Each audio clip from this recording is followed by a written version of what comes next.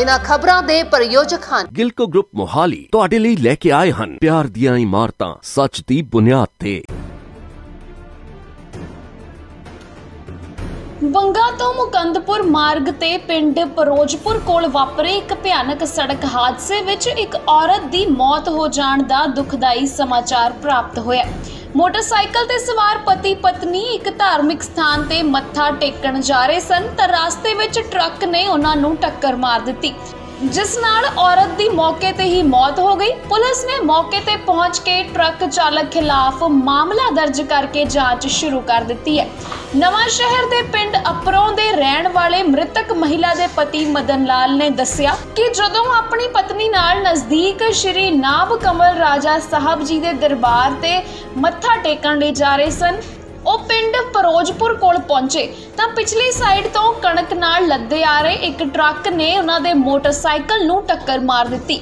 ਜਿਸ ਕਾਰਨ ਮੋਟਰਸਾਈਕਲ ਦੇ ਪਿੱਛੇ ਬੈਠੀ ਮੇਰੀ ਪਤਨੀ ਕੁਲਵੰਤ ਕੌਰ ਹੇਠਾਂ ਡਿੱਗ ਗਈ ਅਤੇ ਟਰੱਕ ਦੇ ਪਿਛਲੇ ਟਾਇਰ ਹੇਠ ਆ ਗਈ ਜਿਸ ਕਾਰਨ ਉਸ ਦੀ ਮੌਕੇ ਤੇ ਹੀ ਮੌਤ ਹੋ ਗਈ। ਡਰ ਡਰ ਕੇ ਸਾਈਡ ਤੇ ਤੁਰੇ ਵੇ ਆ। ਕ੍ਰੋਸ ਕਰ ਲੱਗੇ ਨੇ ਮਾਰਿਆ ਪੱਥਰ ਮੇਰੇ ਹੱਥ ਭਰਤਾ ਤੁਸੀਂ ਕਿੱਥੋਂ ਆਦੇ ਸੀ? ਕੱਪੜੇ ਤੋਂ। ਟਰੱਕ ਨੇ ਮਗਰੋਂ ਆ ਕੇ ਤੁਹਾਨੂੰ ਮਾਰਿਆ? ਮਗਰੋਂ ਆ ਤੇ ਕੀ- ਕੀ ਲੱਗਦੇ ਜਿਹੜੇ ਤੁਹਾਡੇ ਜਿਹਨੇ ਡੈਥ ਮੇਰੀ ਹੋਈ? ਮਿੱਤਰ ਕੀ ਨਾਂ ਇਹਨਾਂ ਦਾ? ਕਨਵੰਤ ਕੌਰ। ਸਤਵੰਤ ਕੌਰ? ਕਨਵੰਤ ਕੌਰ।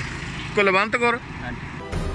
ਉਧਰ ਮੌਕੇ ਤੇ ਪਹੁੰਚੇ ਥਾਣਾ ਮੁਕੰਦਪੁਰ ਦੇ ਥਾਣਾ ਮੁਖੀ ਗੁਰਦਿਆਲ ਸਿੰਘ ਨੇ ਦੱਸਿਆ ਕਿ ਪਤੀ ਪਤਨੀ ਆਪਣੇ ਮੋਟਰਸਾਈਕਲ ਤੇ ਸਵਾਰ ਹੋ ਕੇ ਗੁਣਾਚੌਰ ਸਾਈਡ ਨੂੰ ਆ ਰਹੇ ਸਨ ਕਿ ਟਰੱਕ ਦੀ ਚਪੇਟ ਵਿੱਚ ਆਉਣ ਨਾਲ ਮਹਿਲਾ ਦੀ ਮੌਕੇ ਤੇ ਮੌਤ ਹੋ ਗਈ। ਐਕਸੀਡੈਂਟ ਤੋਂ ਬਾਅਦ ਟਰੱਕ ਚਾਲਕ ਮੌਕੇ ਤੋਂ ਫਰਾਰ ਹੋ ਗਿਆ।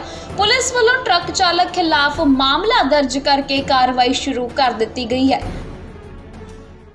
ਇਹ ਮੋਟਰਸਾਈਕਲ ਤੇ ਸਵਾਰ ਹਸਬੰਡ ਵਾਈਫ ਜਾ ਰਹੇ ਸੀਗੇ ਆਪਰੇ ਤੋਂ ਆ ਰਹੇ ਸੀ ਇੱਧਰ ਹਿਮਾਚਲ ਸਾਈਡ ਜਾਂਦੇ ਸੀ ਤੇ ਮਗਰੋਂ ਹੀ ਇੱਕ ਮੁਕੰਦਪੁਰ ਮੰਡੀ ਚੋਂ ਨਾ ਕਣਕ ਲੱਗ ਟਰੱਕ ਡਰਾਈਵਰ।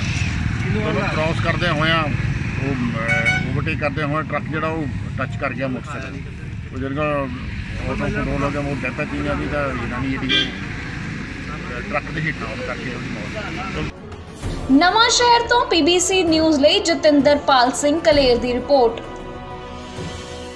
ਇਹਨਾਂ ਖਬਰਾਂ ਦੇ ਪ੍ਰਯੋਜਕ ਹਨ। ਗਿਲਕੋ ਗਰੁੱਪ ਮੋਹਾਲੀ ਤੁਹਾਡੇ ਲਈ ਲੈ ਕੇ ਆਏ ਹਨ। ਪਿਆਰ ਦੀਆਂ ਇਮਾਰਤਾਂ, ਸੱਚ ਦੀ ਬੁਨਿਆਦ ਤੇ।